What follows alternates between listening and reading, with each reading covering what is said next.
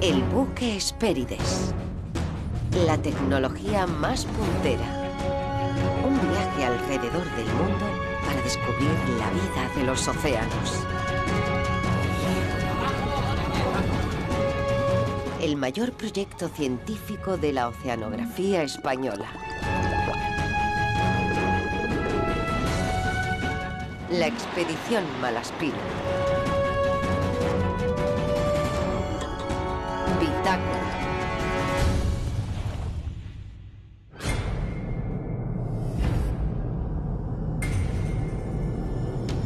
Los océanos son el hogar de criaturas fascinantes.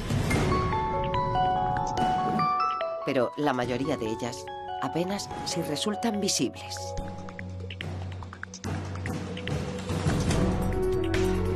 Es a nivel microscópico donde desde sus inicios la química se convirtió en vida. Un microcosmos que constituye la base de todo el ecosistema oceánico, del funcionamiento del planeta y nuestra propia supervivencia, pero también el lugar donde primero y más peligrosamente se están manifestando los efectos del cambio global.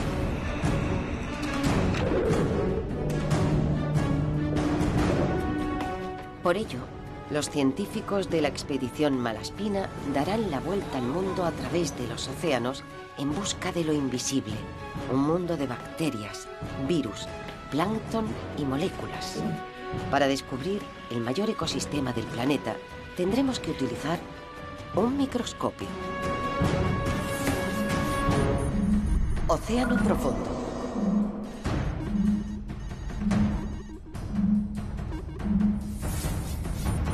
Serán siete meses completos de campaña. Se han escogido, por tanto, la época del año y las zonas por las que vamos a navegar. De nada nos vale. La idea de hacer un proyecto de circunnavegación española empezó a fraguarse ya en el año 2000. complicados, un trabajo que exige una gran coordinación entre todos los... Proyecto Malaspina. eh, Carlos Duarte es el director científico de la expedición Malaspina. Lleva más de 20 años estudiando el océano y casi 10 preparando este proyecto con la ayuda del CSIC, el Ministerio de Ciencia e Innovación, la Armada Española y la Fundación BBVA, entre otros. El 15 de diciembre de 2010, el Hespérides partió al fin de Cádiz, dispuesto a dar la vuelta al mundo. Ha sido 10 años de trabajo, 10 años de ilusión y por fin dejamos tierra y hasta 7 meses más no volveremos aquí. Vamos a navegar por las mismas aguas por las que navegó Alejandro Malaspina en 1789. Eh, Hoy estamos sobre la dorsal medioceánica, es decir, aquella cadena de montañas que divide el Atlántico entre dos partes. y hemos muestreado el primero- por primera vez el Océano Índico. En esta última semana hemos terminado de atravesar la Gran Bahía Australiana, es decir, todo el sur del continente australiano. Al cruzar el Pacífico, pues hemos pasado el hemisferio sur al hemisferio norte y hemos cruzado el Ecuador. Continuamos nuestra singladura en el Pacífico tropical. Estamos como a unas 700 millas de las costas centroamericanas. Ahora estamos ya navegando hacia Cartagena. Solo se necesita pues buena mar y, y- y la voluntad de los investigadores para que las cosas salgan bien. La expedición Malaspina es sin duda alguna el, el proyecto de, de investigación oceanográfica en concreto más ambicioso de la historia de, de España, eso sin, sin ninguna duda. ¿no? hacer estas dos estaciones el día 7 y el día 8, ¿te parece? Ha sido la primera expedición de circunnavegación española con objetivos científicos. Necesario que se alineen varios astros porque esto ocurre una vez cada 200 y pico año- y- años y por lo tanto no es algo que ocurre así sin más. Sus objetivos son estudiar el papel de los océanos en el proceso de calentamiento global y explorar la biodiversidad marina. Ahora con las nuevas técnicas de genómica tenemos la oportunidad de hacer un salto adelante en nuestra comprensión de la biodiversidad que existe en el océano, particularmente en el océano profundo, que es el ecosistema más, más grande de la biosfera y el peor estudiado.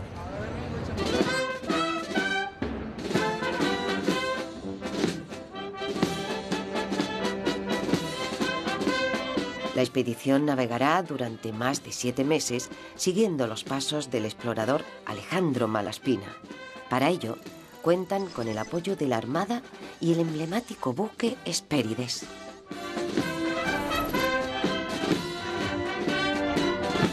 Por el hecho de mandar un buque militar tenemos una ventaja añadida de llevar una dotación más numerosa de la que lleva eh, un buque un buque civil y por tanto nos permite una mayor autonomía. Es decir, al ser más gente para realizar el trabajo, nos permite acometer mayores eh, campañas, estancias más largas en la mar, más prolongadas, me refiero, en lugares más alejados, por tanto, ¿eh? y en conjunto el barco tener mucha más autonomía para acometer esta serie de, de trabajos. Cuando uno mira en el océano donde se han realizado proyectos de envergadura en el ámbito, por ejemplo, de oceanografía física, eh, uno encuentra siempre las experiencias en las zonas más duras del océano, porque es quizá el buque más operativo de la flota oceanográfica internacional, no solo de la nacional. A lo largo de más de 42.000 millas náuticas, el Hespérides recogerá cientos de muestras de agua, gases y microorganismos. Navegará por las cálidas aguas tropicales para aproximarse después al frío Antártico, por aguas rebosantes de vida y por desiertos oceánicos. Todo ello con la esperanza de descubrir los secretos que se ocultan bajo la superficie del océano. ¿Qué cambios les esperan en las próximas décadas? Y muy especialmente, ¿quién se esconde allí donde ya no hay luz? Ni parece posible la vida. En el océano profundo. En el océano, pues, eh, reside gran parte de las respuestas a los grandes desafíos que la humanidad va a afrontar en el, en el futuro. Es precisamente en el fondo del océano donde comienza nuestro viaje, a 4.000 metros de profundidad. Un lugar oscuro, aparentemente desierto y prácticamente desconocido. Para llegar hasta allí, es necesario contar con algunas de las herramientas más avanzadas en investigación oceanográfica. Ahora mismo son las... ¿Las qué? Son las 4 de la mañana ahora. Entonces, bueno, nos hemos levantado. Porque a las 5 tenemos que echar el CTD al agua. Esto es como si fuera urgencias. Igual. Listo, vamos.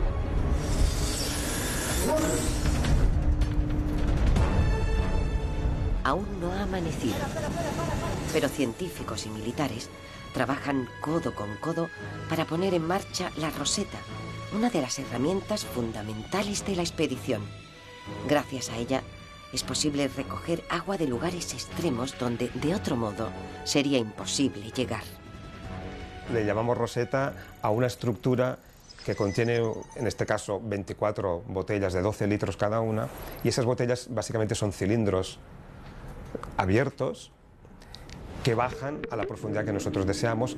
La roseta viene equipada con unos sensores que nos hablan de las propiedades del agua a medida que la vamos bajando con un cable y mientras baja y luego mientras sube vamos registrando las propiedades del agua. Con esos ah, datos que tenemos a tiempo real nosotros decidimos de dónde queremos capturar el agua, de dónde nos interesa subir agua a cubierta y hacer estudios. Estos sensores miden la temperatura, la profundidad y la salinidad del agua, por lo que reciben el nombre de CTD. Pero también recogen otros datos interesantes, como la concentración de oxígeno en el agua, las corrientes marinas o la clorofila presente. Se trata de un primer diagnóstico de las masas oceánicas capaz de guiar a los científicos a través de la oscuridad que se oculta bajo la piel del mar. Mientras va cayendo, mientras va tomando datos el CTD, pues nos vamos viendo en este, en este gráfico. Aquí podemos ver en la curva roja sería la temperatura, la curva azul sería la salinidad, la curva verde sería fluorescencia. ¿Esto por qué es? ¿Por qué cambia la temperatura, cambia la salinidad, cambia el oxígeno? Es porque existen diferentes masas de agua que proceden de, de diferentes sitios. Gracias al perfil, los oceanógrafos saben qué características tiene el agua a distintas profundidades y qué muestras les interesa estudiar.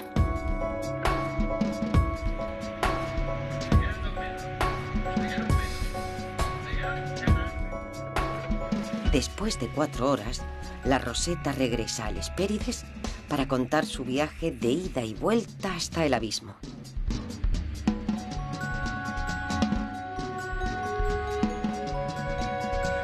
Eso es tremendamente fascinante. De repente uno tiene encubierta ahí a mano para poder llenar botellas, pues tiene agua que ha venido de 4.000 metros, ¿no? que se ha estado dos horas bajando boom, para poder mostrarla. ¿no? Y, y uno lo nota enseguida, porque cuando está llenando la botella ve que está fría, fría, fría. Bueno, hasta el momento tenemos bastante suerte. La verdad es que la mar nos está respetando mucho. Claro, la otra cara de eso es que la gente está trabajando mucho. Aquí se trabaja sin parar, sea el día que sea. De hecho, hoy es sábado, por ejemplo, y trabajamos. Y mañana domingo también trabajaremos.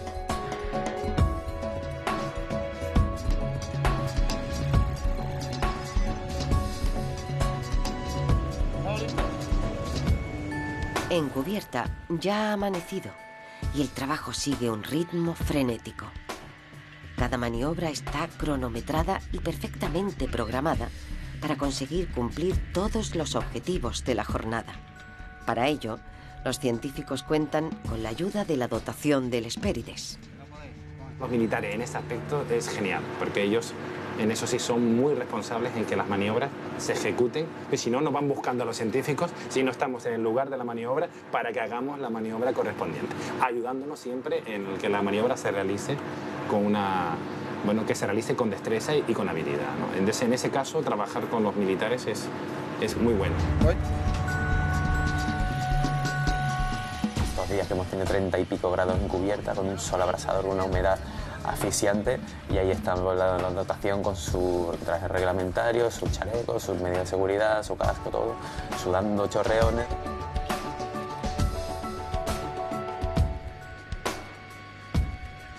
saber que no dependen las operaciones de nosotros, sino de ellos. Esto hace que todo sea muy fácil. Los biólogos de la expedición esperan encontrar vida hasta en las aguas más remotas atrapadas por la roseta. Hay un, objetivo concreto muy importante dentro de este bloque de microheterótrofos que es ver quién está en el océano profundo, ahí donde ya no hay luz, ahí donde normalmente no llegamos, a los 4.000 metros de profundidad. Ahí sigue habiendo vida, sigue habiendo microorganismos, pero no tenemos casi ni idea de quién está. ¿no? Hay zonas que son dominadas por un tipo de microorganismos, otras zonas por otro tipo de microorganismos. Y esto es como tener una selva tropical o una sabana. O sea, el tipo de microorganismos que tienes te dice cómo es el, el ecosistema. Se calcula que en cada mililitro de agua que regresa desde las profundidades se encuentran aproximadamente un millón de virus y unas 100.000 bacterias. Una pequeña ciudad microbiana en cada gota de agua. Para la ciencia, una cantidad masiva de datos que solo es posible desentrañar con las últimas técnicas de secuenciación genética. ¿Eso qué nos va a decir? Nos va a decir quién está, qué filogenia tiene, qué especies se encuentran de microorganismos allá abajo, pero también qué capacidades metabólicas tienen, genes que pueden incluso un día ser útiles para, para la humanidad en procesos industriales o en la curación de enfermedades o cosas de esas. Este ecosistema diminuto y gigantesco, microscópico y oceánico, pasó inadvertido para la ciencia durante mucho tiempo. Hasta finales del siglo XIX, se dudaba que la vida fuese posible más allá de los mil metros de profundidad, y aún hoy su papel sigue siendo casi un misterio. Sin embargo, sí sabemos que no solo existe actividad ahí abajo, sino que esta resulta fundamental para comprender los intercambios de carbono en el océano y su papel en el cambio global. La mitad de la fotosíntesis en el planeta se hace en el mar por microorganismos, entonces es muy importante saber lo que están haciendo y cuántos son y qué tipo de organismos son para desfacer, por ejemplo, al cambio global y al el aumento de la concentración de CO2 en la, la atmósfera. Eh, todo ese ciclo de carbono, los microorganismos marinos tienen un papel muy, muy importante.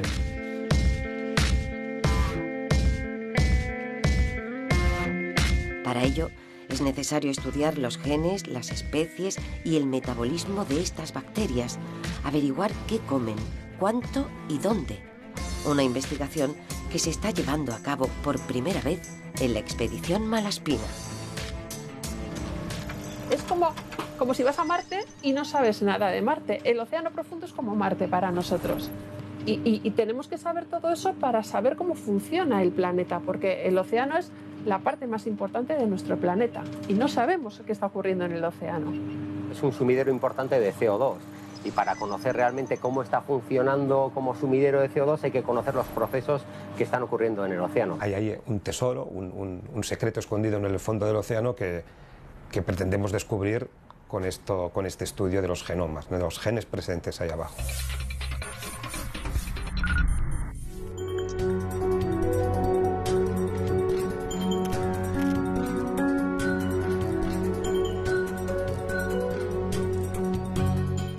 Cuando en cuando, también suben al Hespérides unos animales enormes. Algunos incluso pueden llegar a medir más de dos centímetros y se alcanzan a ver con los ojos desnudos. Quizás por eso son las mascotas más populares y fotogénicas del Hespérides. Pequeños animalillos, copépodos, medusas y otros organismos que flotan a distintas profundidades a merced de las corrientes marinas. En conjunto, reciben el nombre de zooplancton y su estudio constituye otro objetivo importante dentro de la expedición Malaspina.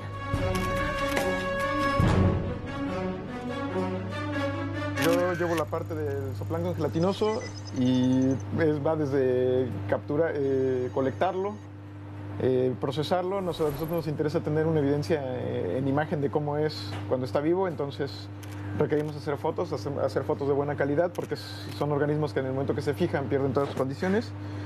Y aparte hacerles algunas mediciones, pesarlos, eh, secarlos, prepararlos para hacer análisis genéticos, análisis taxonómicos. El zooplancton gelatinoso es un grupo muy diverso de organismos con una sola característica en común. Todos ellos están compuestos en más de un 96% de agua. Este es el caso de las medusas, por ejemplo. A los biólogos del Hespérides les interesa averiguar por qué esta peculiar característica puede suponer una buena estrategia evolutiva. Estudiar cómo varían los organismos gelatinosos a lo largo del planeta y si es cierto que su abundancia aumentará en los océanos a raíz del cambio global, como algunos creen que está sucediendo ya.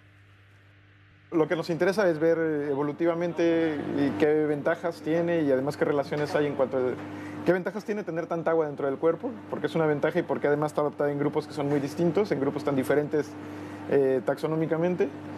Y una de las cosas que nos interesa es que no hay muestras de todo el mundo, son muestras de sitios muy puntuales. Y el Malespina pues, lo que nos da es que como va a ser un viaje de circunnavegación, pues, vamos a tener, si salen, muestras de todo el mundo.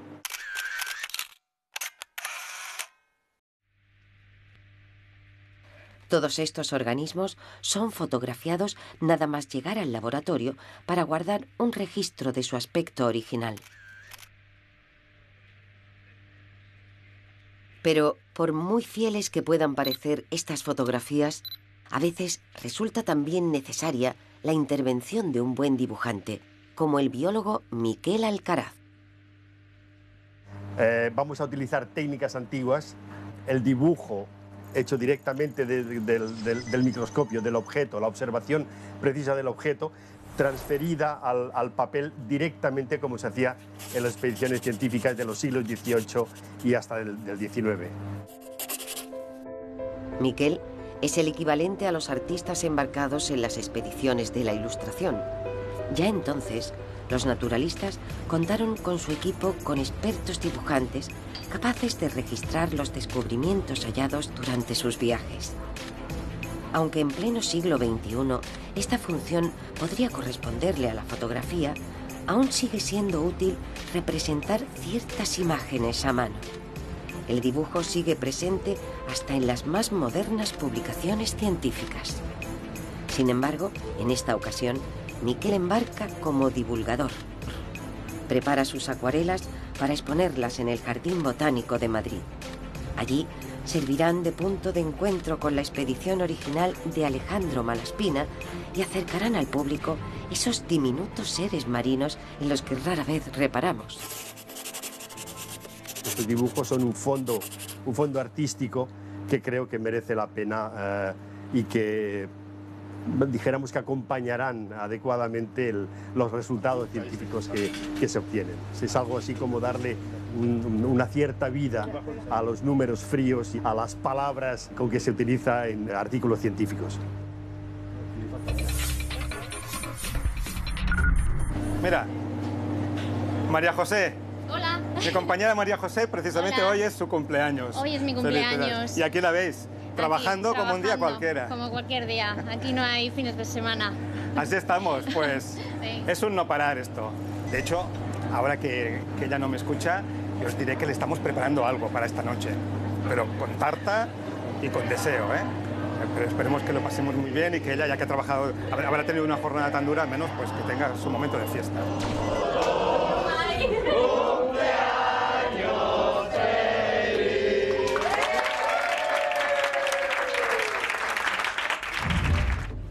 En un buque oceanográfico no existen los días festivos. Se trabaja el 25 de diciembre como el 1 de enero. El único compás que marca el paso de las semanas son los churros con chocolate que se sirven cada domingo en el desayuno. Por lo demás, científicos y tripulación trabajan día tras día sin descanso, a veces durante jornadas maratonianas de 14 o 16 horas. Por suerte, eso no significa que ciertos días no tengan nada de especial. Hoy es día 25 de diciembre, día de Navidad, y ayer tuvimos una cena estupenda con eh, tres platos magníficos de entremeses con marisco y rape y luego un entrecot, turrones y bueno, lo pasamos bien. Y os quiero desear a todos una feliz Nochebuena. Gracias.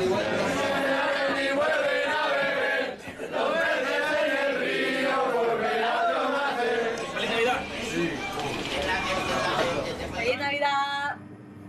¡Feliz Navidad! ¡Feliz Navidad! ¡Feliz Navidad, Laura! ¡Feliz Navidad! Estuvimos cantando, bailando, ri- nos reímos todo, ah, pero hasta última hora ya del día. La cena Nochebuena que fue estupenda y nos lo pasamos genial.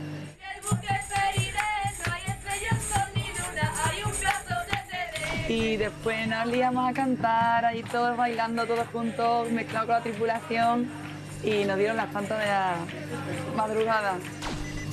Bah, yo soy de los que más han dormido, yo he dormido tres horas y todo. Feliz Navidad a todos. Aquí ahora mismo en pleno. Y esta mañana, eh, para mi sorpresa, se ha levantado el coro de villancicos a las ocho y media y han conectado con nosotros de la SER y hemos podido cantar el villancico que llevamos ensayando, que ha sido la Marimorena, en directo.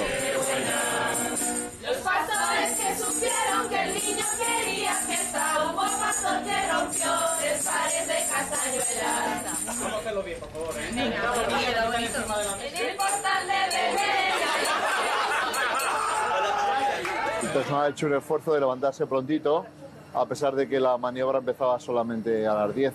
Y ahora, bueno, ya ha pasado ese ratito, pues ahora estamos ya muestreando de nuevo.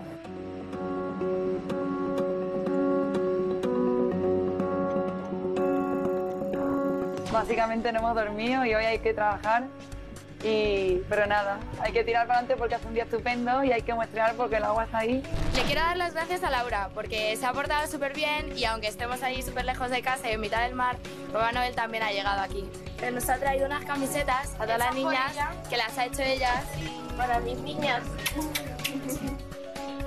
En estas fechas, sin embargo, la larga distancia al hogar y las dificultades de comunicación se hacen notar más que nunca. Lo que más echo de menos es a la familia, por supuesto, a mi pareja y a mis amigos. La comida de mi madre. No, hombre, pues no sé, te echas de menos o echas mucho de menos a la familia. Se echa de menos, pero estás metido en otro ambiente y son gente nueva y se viven situaciones nuevas, entonces quizás ellos que están allí en tierra sí que nos están echando muchísimo más de menos. Nosotros vivimos una situación especial. A ver si llamamos, porque ayer entre tanto jaleo no pude hablar con ellos, pero bueno, a ver si hoy se puede llamar, que estaremos más tranquilos todos. Algún huequillo sacaremos. El Esperides cuenta con conexión a Internet, pero el ancho de banda es de 128 kilobits por segundo compartidos con la línea de teléfono. El equipo científico se disputa esta pequeña conexión con el mundo a través de cuatro ordenadores conectados a la red y un solo terminal telefónico siempre solicitado.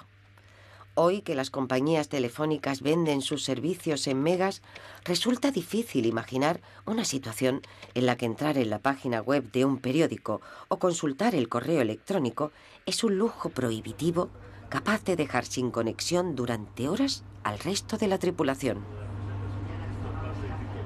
Ahora tenemos la gran suerte que en la mayoría de, la navegación podemos llamar por teléfono, podemos escribir correos continuamente porque hay internet, a veces eso no funciona y es curioso como a la que pasan dos días que no ha funcionado el teléfono o internet, a todo el mundo le entra una angustia, ¿no? porque estamos acostumbrados a estar conectados, cosa que años atrás la experiencia era muy distinta. Las llamadas telefónicas eran solo para emergencias. Aún así, los viajeros deben asumir que durante un mes se hallan en una isla remota y aislada, donde las noticias procedentes de tierra, del mundo real, solo llegan por cuentagotas. Por suerte, para muchos, no resulta difícil adaptarse. En mi caso yo ya había pasado dos navidades fuera de casa, entonces no me pilla de nuevas y bueno, se hace durillo porque siempre quieres estar con los tuyos esos días y tal, pero al final con quien estás te transforma en tu familia, ¿no? Te unes más, te hacen más piña. Y también es una experiencia, joder, no todo el mundo ha pasado Nochevieja a lati- a latitud cero. Es nuestro trabajo, es parte de nuestra vida, nuestra familia y amigos lo saben e intentamos que al menos al volver se nos vea suficientemente, suficientemente felices como para que haya compensado la ausencia.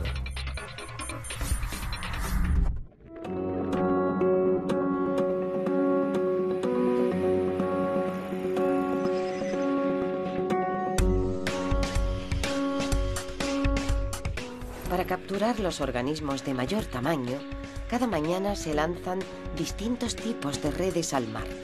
Son unas maniobras muy populares y todos los científicos del buque están siempre pendientes de las pescas matutinas.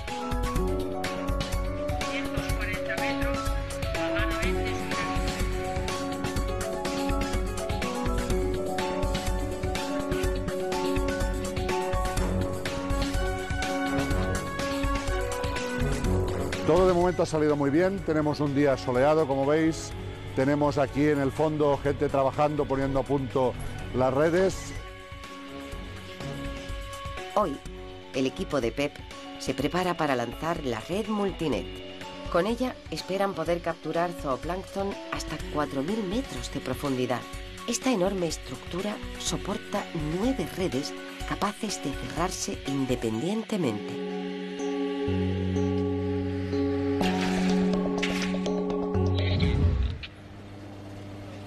Junto a ella, acoplada a la roseta, los biólogos del bloque de zooplancton sumergen una pequeña cámara preparada para soportar las duras condiciones del océano.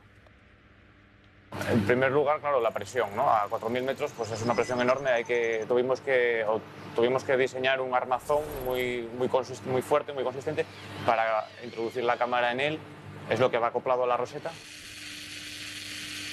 El objetivo es estudiar cómo las partículas de materia orgánica, procedentes en parte del zooplancton y demás organismos de la superficie, viajan hacia el fondo oceánico y se sedimentan, un proceso esencial para comprender el ciclo de carbono en el océano. De los vídeos que nosotros obtenemos con la cámara, pues vemos, lo que nosotros vemos son como una serie de puntitos blancos que se mueven aquí y allá, son estas partículas que queremos ver.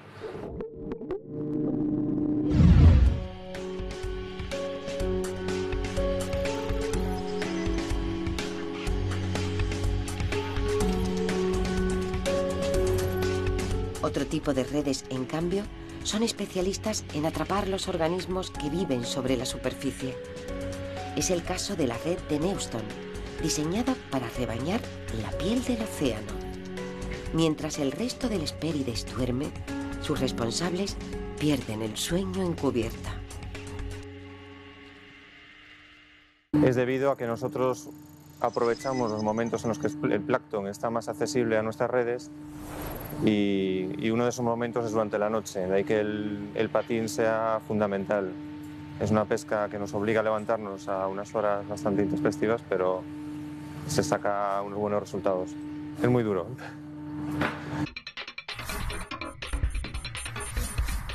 La expedición Malaspina es el mayor proyecto de la oceanografía española. No es de extrañar que hasta 400 investigadores de España y del extranjero hayan querido embarcar en él.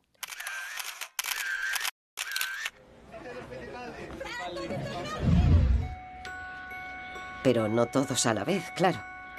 El buque solo tiene capacidad para albergar a unos 40 científicos, por lo que deben ir turnándose en cada etapa de la expedición cada 30 días aproximadamente. Solo la dotación militar permanece a bordo durante los siete meses de circunnavegación. Al llegar a puerto, los miembros del equipo se despiden del Hespérides, en algunos casos, para siempre. Aquí tenemos la, rampa de filtración. ¿vale? Todo el material de repuesto y todo está aquí guardado. ¿vale? El blanco es agua filtrada de otros días que la guardo aquí. 6 u 8 litros para carbón y nitrógeno y Los nuevos deben aprender a la perfección la rutina de sus compañeros. Ambos contrastan las incidencias y cualquier cambio en los protocolos para asegurarse de que el trabajo científico se realiza exactamente de la misma manera, como si fuesen la misma persona. Sí, con las pincitas, sí.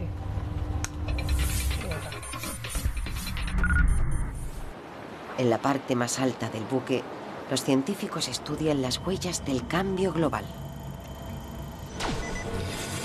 Bueno, pues aquí nos encontramos en el sobrepuente del Hespérides, en medio del Pacífico tropical, y aquí tenemos a dos compañeros que muestrean aerosoles, bioaerosoles, agua de lluvia también recogen, que por cierto hemos tenido últimamente algunos chaparrones, pero muy cortitos, chaparrones típicamente tropicales.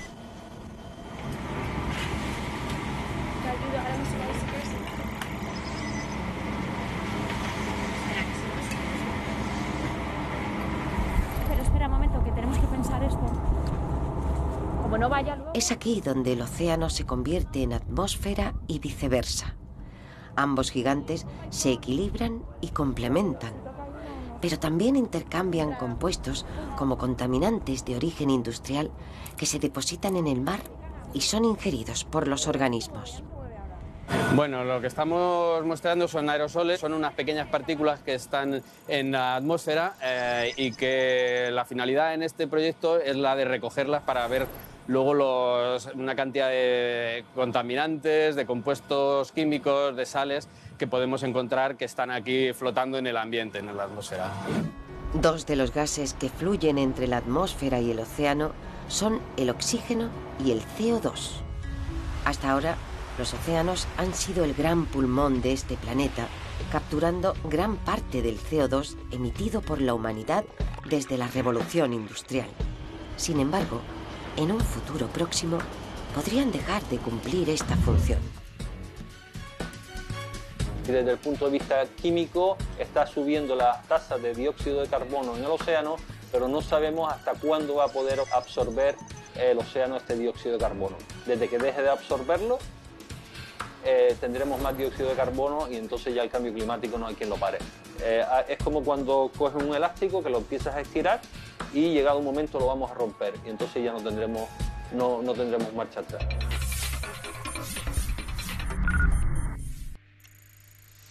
El cometido de los físicos a bordo de la expedición Malaspina consiste en caracterizar las masas de agua y sus corrientes. Deben describir el escenario global en el que se enmarca la vida del océano. Para ello, utilizan herramientas como el CTD de la Roseta o las ondas y perfiladores de corrientes que realizan medidas puntuales y perfiles de la columna de agua en cada estación. Además de utilizarlo para fines científicos, esto nos permite saber qué tipo de corrientes tenemos debajo y esto se utiliza todos los días a la hora de hacer las maniobras, pues para saber si, las condiciones son más o menos favorables pues para tirar botellones y todo este tipo de instrumentación.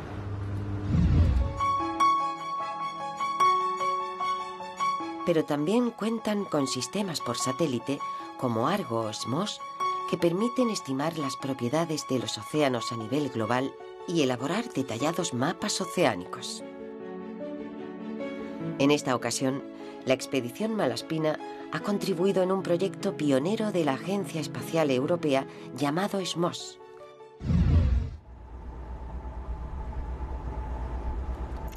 Sus datos nos permitirán conocer la salinidad de los océanos a partir de la radiación solar reflejada sobre las aguas. La boya MOS sería una boya que va a la deriva por el océano y la idea es que hay un satélite en órbita que está intentando medir la salinidad superficial con unos sensores que este satélite lleva y la idea es que por la zona donde va pasando la boya podamos comparar las medidas del satélite con las medidas de la boya. Es la idea principal. Cada una de estas boyas es un pequeño robot, un prodigio de la tecnología capaz de sumergirse o de flotar siguiendo las corrientes, de enviar sus mediciones puntualmente hasta el espacio para que las reciban los satélites.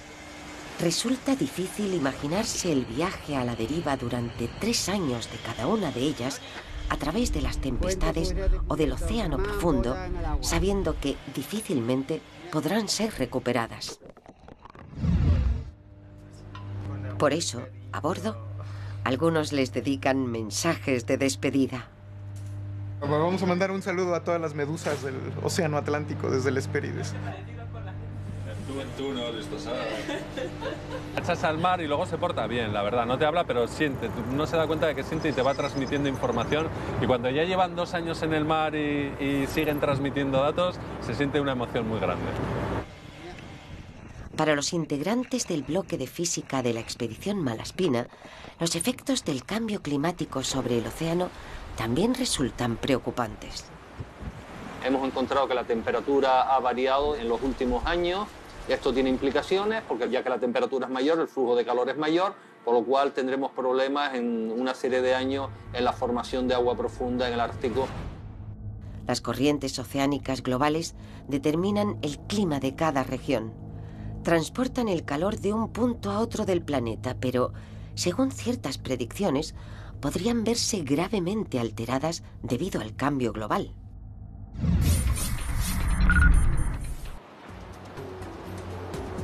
Dos de cada tres moléculas de oxígeno de la atmósfera tienen su origen en los océanos. Esto solo es posible gracias al fitoplancton, las diminutas plantas del mar, las que conforman sus inmensas praderas. El fitoplancton se encuentra en la capa más alta del océano, hasta casi 200 metros de profundidad. Es muy importante conocer cómo entra la luz en el océano porque la luz es el alimento para la vida. ¿no? Y, y los primeros receptores de esa luz son el fitoplancton, que son organismos unicelulares, mi- microscópicos, que hacen la tarea que hacen las plantas en la Tierra, la fotosíntesis. Son los primeros en la, en la cadena trófica. luego, los demás, todos van a, venir alimentándose de lo que estos producen.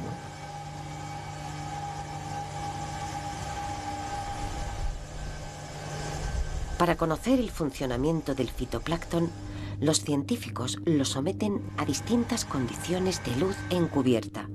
Comparan su producción de oxígeno y su respiración. Pero también miden las propiedades ópticas del agua, como su transparencia o su color.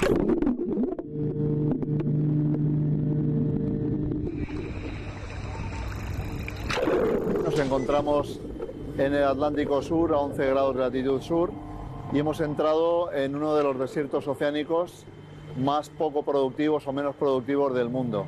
Las aguas que tenemos aquí son de color azul añil, perfectamente transparentes, con muy poco plancton y además el poco que hay pues se acumula a 160 metros de profundidad, que es hasta donde llega la luz y hay un poco de nutrientes Existen cinco grandes desiertos en las zonas subtropicales de los océanos del planeta y cubren el 70% de su superficie.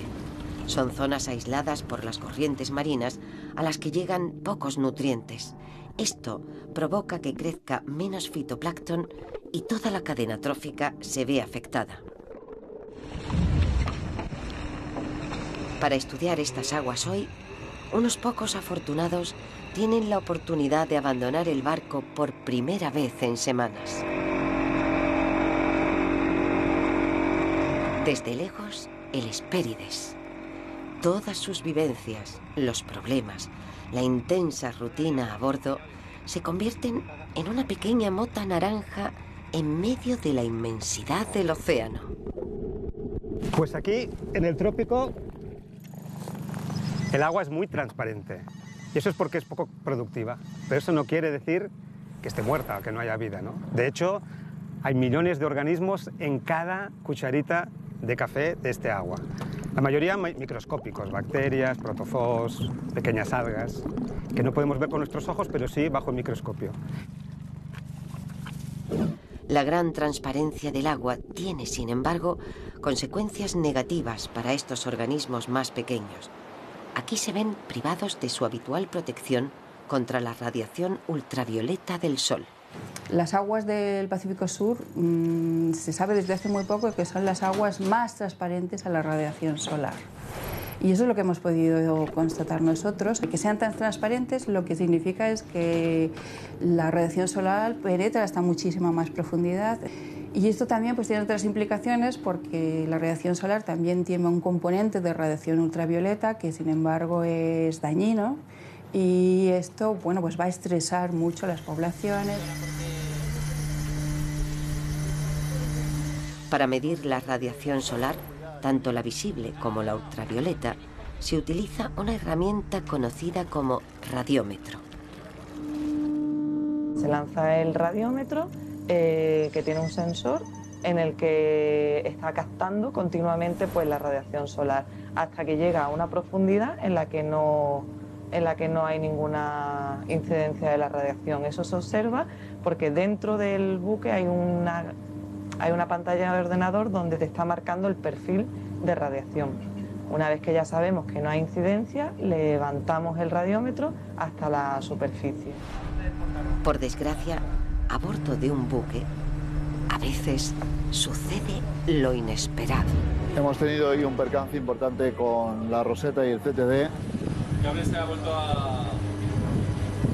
Ha vuelto a salir con vueltas y nos hemos encontrado unas fuertes corrientes que han causado algunos problemas con los equipos, en particular con la Multinet, que sufrió daños en el cable. Bueno, ha dado problemas al final. ¿Sí? No sabemos qué va a pasar. Si rompemos otro y ya no tenemos respeto, entonces hay que tener mucho cuidado.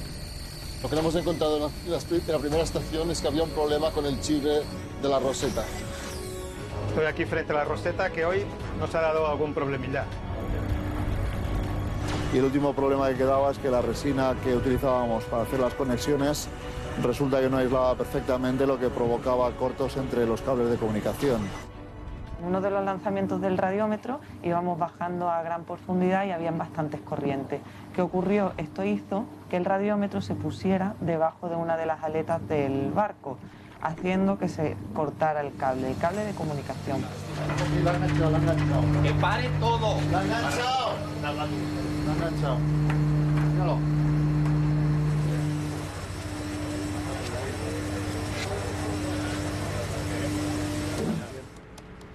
No mover palanca de momento. Puente enterrado, bajando palanca. Arranco el número 2. Que parar la maniobra, los bustos tuvieron que hacer una inmersión, recuperar el radiómetro y bueno, y la verdad es de decir que todo salió con gran éxito y pudimos seguir la, trayectoria normal de, de estos análisis con el radiómetro gracias a los del equipo de la UTM que hicieron ahí un- una conexión bastante eficaz y rápida.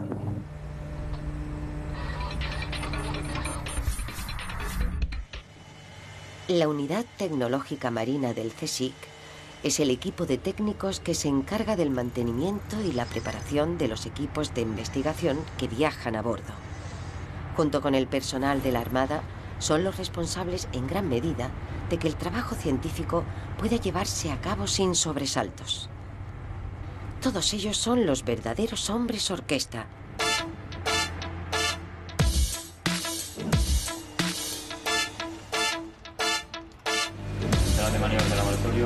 Aquellos a quien se acude en primer lugar cuando surge alguna incidencia. Desde el sistema informático y la conexión a Internet hasta la gestión de las maniobras o cualquier pequeña reparación de los equipos. De su trabajo depende en gran medida el éxito de una campaña. No paramos nunca. Trabajamos aquí y trabajamos para lo que tenemos fuera o trabajamos para los otros barcos. No paramos nunca. Después del desayuno, pues nada, me dedico a dar una vueltecita por aquí y siempre hay cacharritos que arreglar. Algo que soldar o... Cual día, pues como ayer, que también algún chigre pues te da un poco la pega, como que tuvimos que anular la, estación, pero bueno, se solucionó, que es lo importante. Si hubiéramos tenido eh, dificultades técnicas que nos hubieran ob- obligado a reponer equipos, que al principio pues eh, tu- las tuvimos y hubiera dado al traste con, con la expedición, entonces no teníamos margen para, para fallar, tener que volver atrás y empezar de nuevo porque no, no teníamos eh, tiempo y hubiéramos tenido que, que abortar la expedición.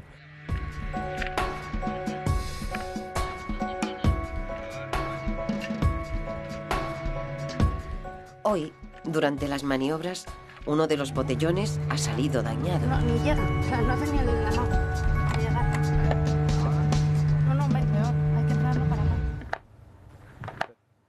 Casi todos se reparan para que sigan la, la maniobra sin problemas. Nada, vamos a sustituir el, el tapón roto y... Camilo va a sustituir la pieza estropeada Es por un a nuevo respeto. Este es el nombre que reciben en alta mar los duplicados de cada equipo por el respeto que se le debe tener a la mar.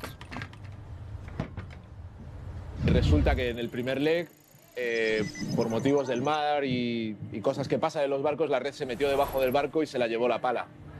Entonces eh, nos encontramos que de las dos que traíamos ya solo nos queda una en el primer leg, lo cual no desanima, pero dices, uff, va a haber que tener cuidado.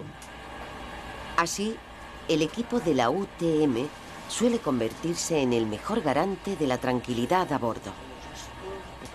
Como esto que decíamos de que aquí todo se magnifica, entran y dicen, no va nada. Y digo, pero ¿qué pasa? Vamos a la deriva. Y no, es que no va, no hay internet. Ah, bueno.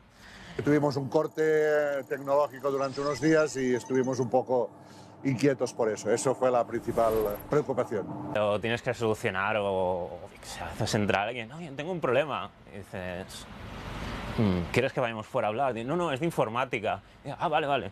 Y ya le arreglas algo del ordenador o lo que sea. El gran reto es, a ver, ¿cómo lo haces para suplir aquello que no puedes comprar, que es lo más normal que harías en la calle? Cosas que en otro entorno serían tendrían menos importancia aquí pues a veces si, si falla el correo si te quedas sin teléfono la gente se puede poner un poco más nerviosa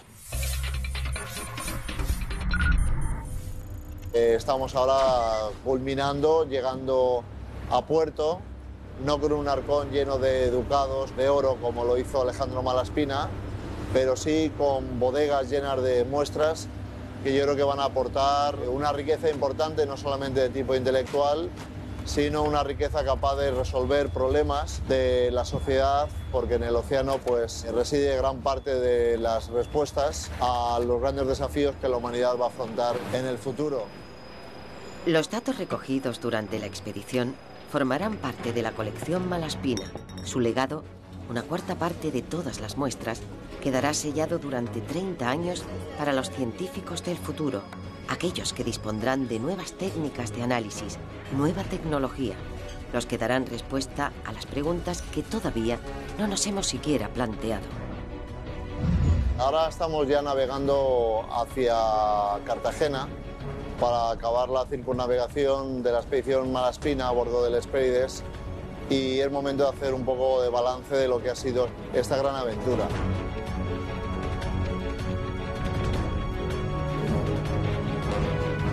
Han sido 10 meses de tiempo de barco entre el Hespérides y el Sarmiento de Gamboa 315 puntos de muestreo en todo el océano. Puente Ojal, listos para la maniobra.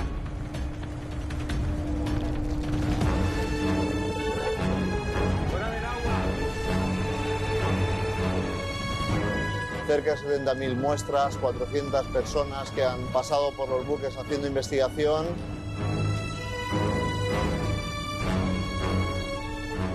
Y muchos miles de personas que hemos ido conociendo en los puertos que hemos visitado, que han visitado el buque, que les hemos hablado de nuestro proyecto, de Alejandro Malaspina y muchas horas de trabajo a bordo y de laboratorio.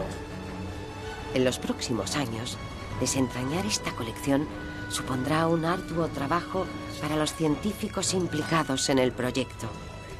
Pero dentro de tres décadas, una futura generación de investigadores volverá sobre estas mismas muestras para iniciar nuevos estudios.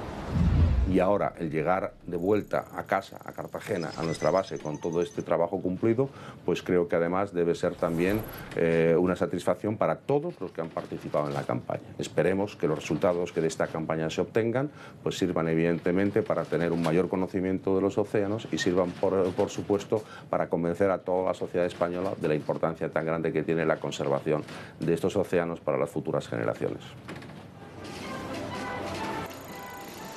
Tras su larga navegación, el Hespérides vuelve a puerto con su misión cumplida. Han sido siete largos meses y los miembros de la dotación vuelven a encontrarse con sus familias por primera vez después de tanto tiempo.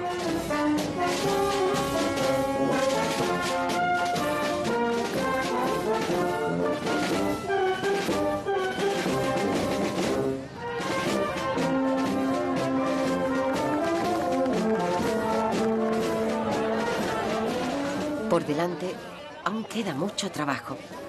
Dentro de unos años, la expedición Malaspina nos permitirá comprender mejor las consecuencias del cambio global y su efecto sobre los océanos. Pero para eso, aún habrá que esperar a los resultados científicos que desvelen el verdadero valor de estos meses de duro trabajo en alta mar.